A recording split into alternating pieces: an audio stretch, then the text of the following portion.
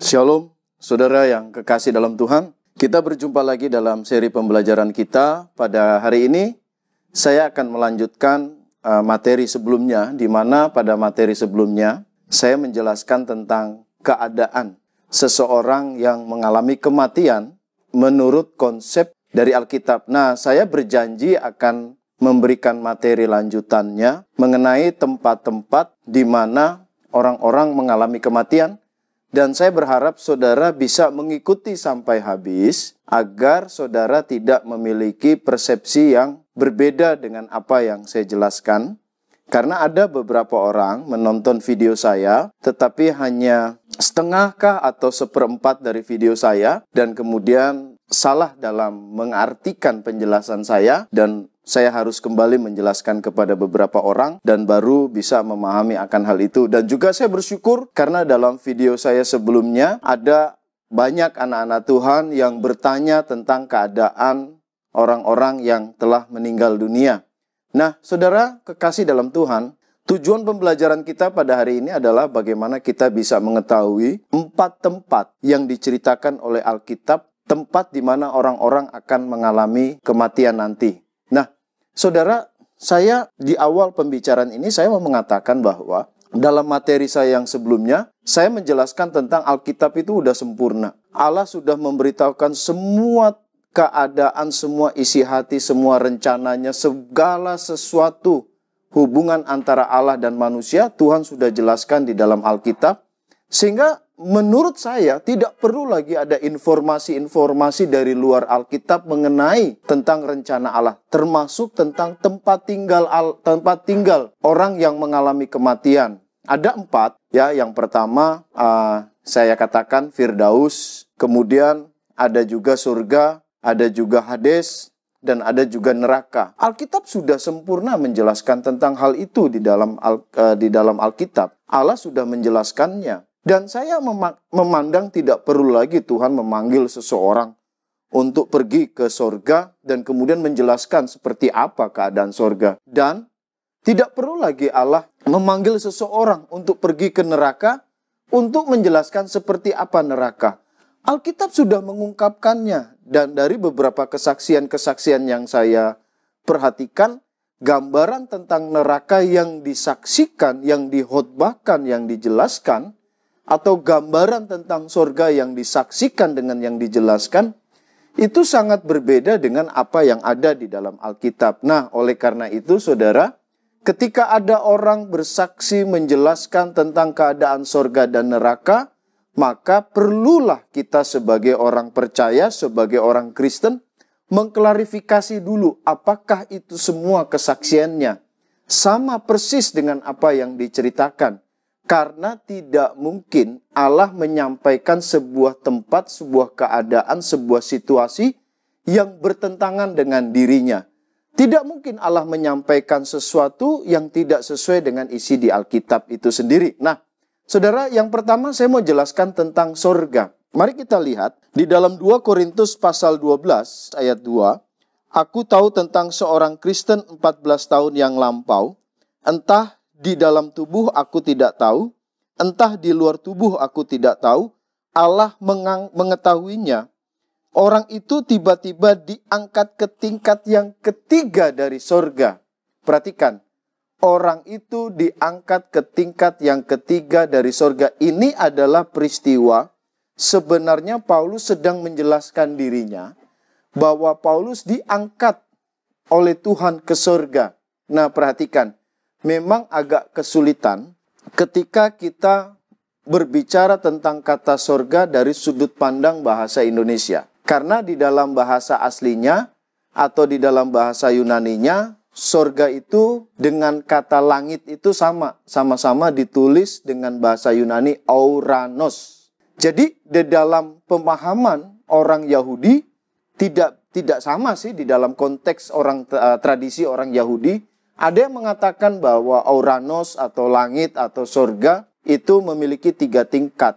Ada juga yang memiliki yang memahami ada tujuh tingkat. Jadi perhatikan saudara. Ketika kita berbicara surga dalam bahasa Yunaninya atau dalam bahasa aslinya, sorga dengan langit itu tidak bisa dipisahkan karena sorga adalah langit, langit adalah sorga. Nah, Paulus menjelaskan bahwa ternyata sorga itu atau langit itu adalah memiliki tiga tingkat. Sorga memiliki tiga tingkat. Anda lihat, jadi ini kalau saya gambarkan ini bumi, ada sorga tingkat pertama, ada sorga tingkat kedua, dan ada sorga tingkat yang ketiga. Nah, sorga tingkat yang pertama ini adalah bagian di mana masih ada atmosfer bumi. Jadi kalau saudara lempar batu ke atas, dan batu itu masih jatuh di kepala saudara, dan kena di kepala saudara, maka itu langit yang pertama atau surga tingkat yang pertama. Surga tingkat yang kedua adalah di situ ada bintang, ada matahari, ada bulan, ya. Bisa dikatakan seluruh jagat raya ini adalah surga tingkat yang kedua. Nah, surga tingkat yang ketiga inilah yang kita sebut dengan nama istilah bagi kita surga atau tempat tinggalnya Tuhan. Jadi Paulus pada 2 Korintus pasal 12 ayat 2 ini dia diangkat ke tingkat yang ketiga di mana Tuhan berada. Ya, tempat tinggalnya Tuhan walaupun Tuhan Maha hadir, Tuhan Maha ada di mana saja. Tetapi uh, Paulus mau menjelaskan bahwa ada satu tempat yang mulia yang indah yang biasa kita sebut dengan kata sorga. Jadi Paulus diangkat ke tingkat yang ketiga. Perhatikan, karena ini berkenaan dengan kata Firdaus. Anda lihat, Sebentar saya jelaskan kata Firdaus, tempat Firdaus. Karena pada ayat yang keempat, dalam sebuah momen yang sama, dalam sebuah peristiwa yang sama, dalam sebuah keadaan yang sama, di dalam konteks yang dekat pada ayat yang keempat, dalam 2 Korintus pasalnya yang ke-12, dikatakan ia tiba-tiba diangkat ke Firdaus. Jadi Paulus juga dikatakan bukan hanya ke sorga, tapi juga ada Firdaus. Jadi kesimpulan awal, Firdaus itu tidak lagi di bagian bumi yang paling bawah, tapi dikatakan sudah berada di atas. Di mana Paulus pergi ke sorga. Jadi dari sini kita bisa ambil kesimpulan awal bahwa Firdaus hari ini tidak lagi di bagian bumi yang paling bawah, tapi sudah ada di tingkat yang ketiga di atas yaitu di sorga. Sebentar saya jelaskan. Saya jelaskan dulu arti sorga. Nah, jadi saudara yang kekasih di dalam Tuhan, sorga di dalam satu Raja-Raja pasal 8 ayatnya yang ke 27. Di situ dikatakan, tetapi benarkah Allah hendak diam di atas bumi? Sesungguhnya langit, bahkan langit yang mengatasi segala langit. Artinya, sorga yang paling tertinggi di tingkat yang ketiga. Pun tidak dapat memuat engkau, terlebih lagi rumah yang kudirikan ini. Jadi orang Yahudi mempercayai bahwa sorga itu adalah tempat tinggalnya Tuhan. Nah, Anda lihat di dalam perjanjian lama tidak pernah mengungkapkan bahwa seseorang ketika mengalami kematian pergi ke sorga. Tidak. Semuanya di dalam perjanjian lama mempercayai, meyakini, mengimani bahwa ketika mereka mati, mereka akan ke dunia orang mati. Apa itu dunia orang mati, saudara? Saya sudah jelaskan dalam video saya yang terdahulu bahwa dunia orang mati itu dalam bahasa aslinya adalah Hades, Hades atau Sheol. Nah, Hades atau Sheol ini bukan kuburan, tapi satu tempat untuk menampung orang-orang yang sudah mengalami kematian. Hades dan Sheol ini juga bukan neraka. Nah, Hades dan Sheol ini terbagi dua. Yang sudah saya jelaskan kemarin, yaitu yang pertama adalah Firdaus dan yang kedua tempat sengsara, ya, tempat sengsara. Jadi ada dua tempat, yaitu Firdaus dan tempat sengsara, Hades, tempat menyimpan orang mati. Nah, di dalam perjanjian lama, orang-orang percaya yang mati mereka tidak pernah berpikir bahwa mereka akan ke surga. Mereka tidak tidak berpikir bahwa mereka akan ke surga. Mereka ketika mati mereka ke dunia orang mati ini, yaitu Firdaus, tempat orang percaya dan tempat sengsara orang yang tidak percaya. Tapi ini ini ini bukan neraka. Setempat sengsara ini bukan neraka, tetapi tempat menampung orang-orang yang tidak percaya. Tapi perhatikan, mengapa Paulus mengatakan bahwa ketika dia terangkat ke tingkat yang ketiga, mengatakan bahwa Firdaus sudah ada di atas di tempat yang langit yang ketiga. Karena saya sudah jelaskan sebentar saya jelaskan lagi bahwa pada waktu Yesus mati di kayu salib, ya, dia berkata begini kepada penjahat salah satu penjahat yang bersama-sama dengan Yesus disalibkan, hari ini juga engkau akan bersama-sama dengan aku di Firdaus. Jadi saudara lihat pada waktu Yesus mati, dia membawa salah satu penjahat yang percaya Yesus itu ke Firdaus. Firdaus atau Hades ini adanya di bagian bumi yang paling bawah. Oke, jadi ada yang menafsirkan itu di inti bumi atau di bagian bumi yang paling bawah. Jadi Yesus membawa penjahat itu pergi ke Firdaus. Nah, perhatikan saudara. Di dalam Efesus pasal 4 ayatnya yang ke-8 dan ke-9 berkata, tatkala ia naik ke tempat tinggi, jadi setelah Yesus mati, roh dan jiwanya pergi ke Firdaus, kemudian dia terangkat pergi ke sorga, apa yang terjadi setelah itu? Perhatikan ayat yang ke-8. Tatkala ia naik ke tempat tinggi, ia membawa tawanan-tawanan, ia memberikan pemberita, pemberian-pemberian kepada manusia. Bukankah ia telah naik? Berarti bahwa ia juga telah turun ke bagian bumi yang paling bawah ini. Hades.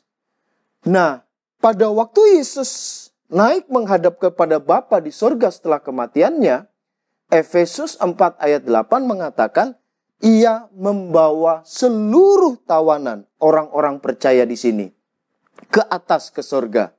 Dan Paulus menyaksikan, ternyata bukan cuma orang-orangnya yang ada di atas, yang terangkat, yang Yesus bawa ke atas. Tapi Paulus menyaksikan ternyata Firdaus tidak lagi di bagian bumi yang paling bawah. Dalam ayat yang keempat mengatakan, dalam 2 Korintus pasal 12 mengatakan bahwa Firdaus sudah ada di atas. Oleh karena itu saudara yang kekasih di dalam Tuhan, hari ini setelah Yesus mati dan bangkit, orang yang percaya Yesus mati tidak lagi disimpan di Hades karena Firdaus sudah diangkat ke surga. Berarti setiap orang yang percaya Yesus hari ini mati, kita semua terangkat ke surga. Ada yang bertanya sama saya secara pribadi, bagus banget pertanyaannya. Pak, bagaimana kita sudah pergi ke surga sementara kita belum dihakimi, belum diadili, saudara? Di dalam Alkitab hanya ada dua pengadilan. Nanti saya akan lanjutkan materi ini hanya ada dua pengadilan bagi orang-orang yang sudah mati dan dibangkitkan. Pertama adalah bema atau kursi, kursi pengadilan Kristus. Ya, kursi pengadilan Kristus. Ini adalah pengadilan bagi orang-orang percaya di dalam zaman anugerah bukan untuk menentukan seseorang masuk surga atau masuk neraka. Tidak ada penghakiman seperti itu untuk menentukan masuk surga, masuk neraka. Untuk menentukan masuk surga dan masuk neraka hari ini. Kalau saudara percaya Yesus sebagai Tuhan dan Juru Selamat pribadi, hari ini kita yang percaya Yesus akan mendapatkan kepastian kekal di surga. Nah, ada yang bertanya, Pak, kita kan belum masuk kursi pengadilan Kristus. Kenapa kita sudah masuk surga? Saya bilang, untuk masuk surga dan masuk neraka tidak ditentukan tentang pengadilan atau penghakiman. Kalaupun toh dipaksakan bahwa kita harus diadili lebih dulu, maka saya mau mengatakan sebenarnya kita hari ini sudah diadili tentang dosa-dosa kita. Karena untuk masuk surga, ya, untuk masuk surga itu berbicara tentang dosa. Nah, kita paham bahwa dosa sudah diadili di dalam diri Yesus di kayu salib. Yesus sudah disidang. Yesus sudah dihukum karena dosa-dosa kita. Yesus sudah diadili, dinyatakan bersalah dalam 2 Korintus 5 ayat 21.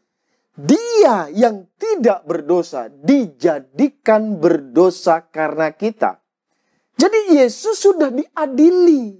Yesus sudah dihukum bukan karena dia berdosa, bukan karena dia bersalah, tapi dihakimi, diadili, dihukum karena dosa kita. Jadi kita adalah orang-orang yang sudah dihitung, yang sudah diadili. Ada yang bertanya, Pak, masa kita belum diadili, belum disidang? Kemudian kita sudah masuk ke surga, sudah kita sudah diadili. Kita sudah disidang, tapi bukan kita yang menjalaninya. Yesus menggantikan persidangan itu. Yesus menggantikan untuk menjalani peradilan itu dan Yesus telah dihukum secara adil bagi dosa-dosa kita. Sehingga hari ini kita yang percaya Yesus tidak lagi ke Hades tapi ke surga. Oke, jadi ke surga itu bukan bicara sudah masuk kursi pengadilan Kristus atau tidak. Karena kursi pengadilan Kristus itu adalah persidangan akan dihakimi, akan diadili perbuatan kita. Bukan menentukan surga atau masuk neraka. Kita akan diadili. Karena bema sifatnya adalah tempat di mana kita akan mendapatkan upah nanti di surga.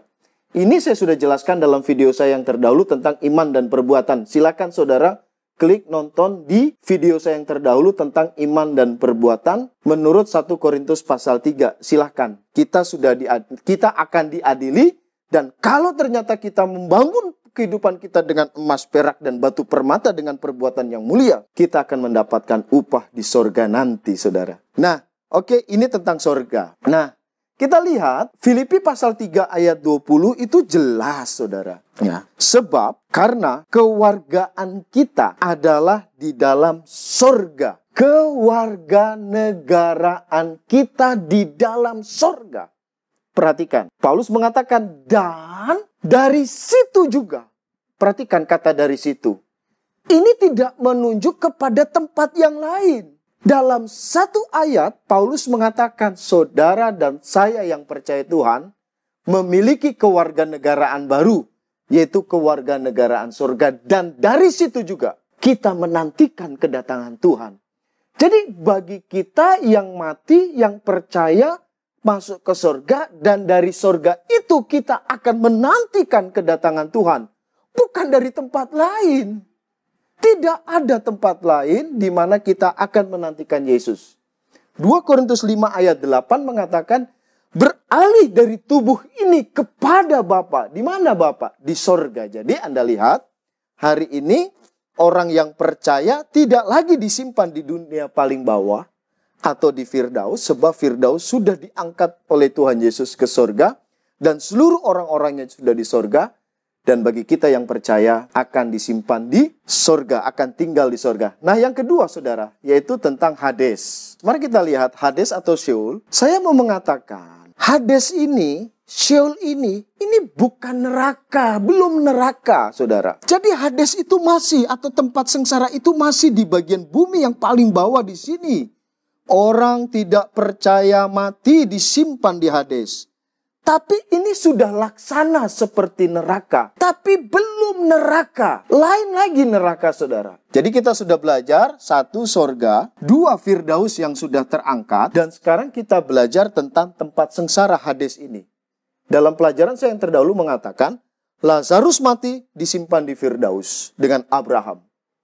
Orang yang kaya yang tidak percaya mati disimpan di Hades juga tapi di tempat sengsara. Tapi ini belum neraka. Nanti di akhir zaman, saya akan menjelaskan berikut ini, akan berseri. Tapi nanti di akhir zaman segala sesuatunya berakhir. Di dalam Wahyu pasal 20 ayat 14 dan 15, orang-orang tidak percaya yang di Hades ini akan dibangkitkan tubuh mereka. Oke, oh maaf bukan di sini. Yang orang tidak percaya mati, orang tidak percaya mati, roh dan jiwanya simpan di Hades. Tapi ini udah sengsara walaupun belum neraka. Wahyu 20 ayat 1 sampai 15 itu menceritakan tentang kebangkitan orang yang tidak percaya. Namun kebangkitan ini terjadi setelah peristiwa kerajaan seribu tahun damai di bumi. Ini di akhir zaman nanti. Belum terjadi hari ini. Mereka akan dibangkitkan. Setelah itu apa yang terjadi? Maut dan kerajaan maut ini akan dilemparkan ke dalam lautan api neraka. Jadi hari ini neraka masih kosong, saudara. Belum ada penghuninya. Karena penghuni neraka hari ini masih disimpan di Hades, tapi sudah laksana neraka. Loh, ini bagaimana mungkin? Saya dengar beberapa kesaksian mengatakan seorang hamba Tuhan dibawa oleh Tuhan ke neraka, melihat jalannya yang panas, ada ruangan-ruangan. Sedangkan dia bilang ada ruangan-ruangan aja udah salah. Karena Alkitab tidak mengatakan bahwa surga ada ruangan-ruangan. Kemudian dia mengatakan melihat ada orang, uh, ada setan pegang trisula menghukum orang-orang yang di neraka. Loh, enak setan menghukum orang. Menjadi alatnya Tuhan menghukum manusia. Itu bukan cerita sorganya atau nerakanya orang Kristen. Tidak ada cerita seperti itu. Enak. Setan itu juga akan dihukum di neraka, saudara. Jadi Anda lihat, harus konfirmasi dulu dengan Alkitab. Alkitab cuma bilang, neraka adalah lautan api. Sebentar kita lihat. Jadi Anda lihat, jadi Hades adalah tempat menyimpan hari ini orang-orang yang tidak percaya. Ini bukan kuburan seperti yang diajarkan oleh para kaum saksi Yehova. Bukan kuburan. Sheol atau Hades itu bukan kuburan. Mari kita lihat saudara. Matius 11 ayatnya yang ke-23 ya. Saya lihat aja di dalam perjanjian baru. Sebenarnya ada beberapa ayat. Kejadian 44 ayat 31. Kemudian dalam Matius 16 ayat 18. Matius 11 ayat 23. 1 Korintus 15 ayat 55 dan juga ada juga di dalam Wahyu pasal 20 ayat 13 yang dikatakan Wahyu 20 ayat 13 mengatakan ini adalah kerajaan maut, kerajaan orang mati gitu loh. Oke, mari kita lihat di dalam Matius 11 ayatnya yang ke-23. Dan engkau Kapernaum, Kapernaum, apakah engkau akan dinaikkan sampai ke langit tidak? Engkau akan diturunkan sampai ke dunia orang mati. Kata dunia orang mati merujuk kepada Hades atau Syul. Oke? Jadi Anda lihat, jadi kita sudah belajar tentang satu sorga tempat tinggalnya Tuhan, di mana kita percaya orang percaya mati akan ke sorga. Yang kedua, kita sudah belajar Firdaus, tempat menyimpan orang mati yang percaya Yesus sebelum Yesus mati dan bangkit untuk menebus dosa kita.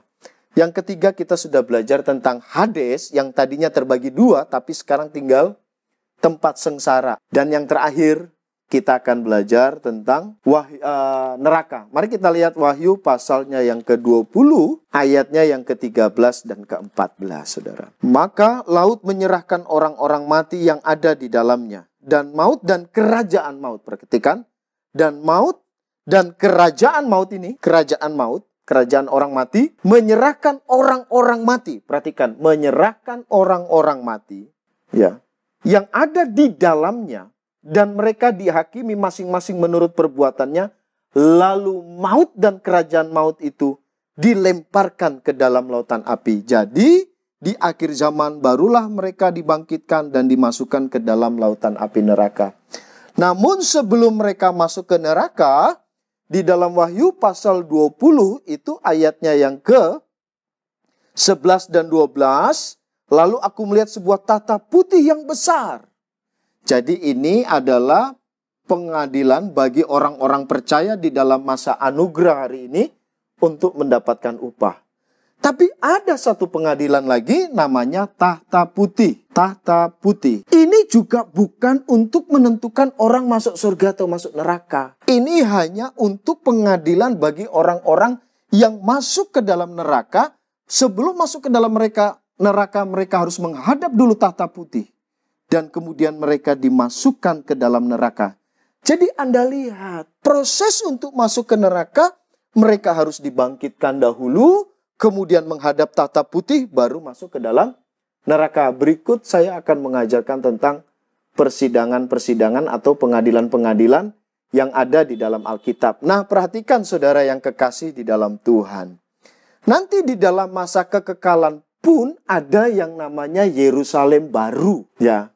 Perhatikan, mari kita lihat karena begini, ada yang uh, mengidentikan atau menyamakan, perhatikan, saya terkadang ketika saya mengajar kepada para mahasiswa saya, ada yang menganggap bahwa sorga dengan Yerusalem baru itu sama. Ada yang menjelaskan seperti itu. Pertanyaannya adalah, apakah benar sorga dan Yerusalem baru itu sama? Oke, saya mau bilang, Sorga yang saya katakan tadi di tingkat yang ketiga, sorga di tingkat yang ketiga tempat tinggalnya Tuhan. itu berbeda, saudara, dengan Yerusalem baru itu berbeda. Di mana perbedaannya? Oke, saya kita mari kita lihat dalam Wahyu pasal 21 ayat 1 dan ayatnya yang kedua.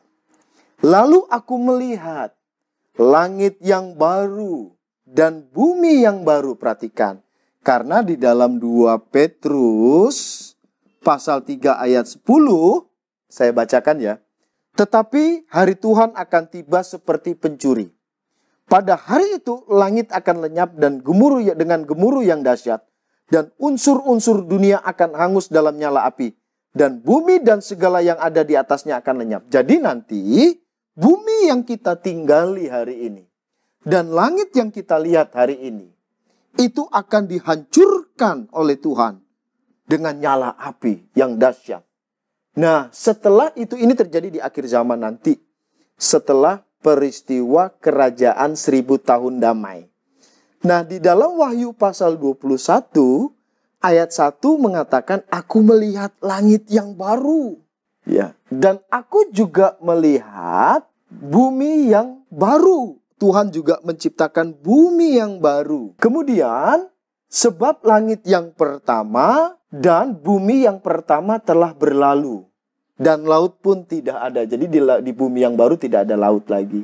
Semuanya daratan. Perhatikan ayatnya yang kedua.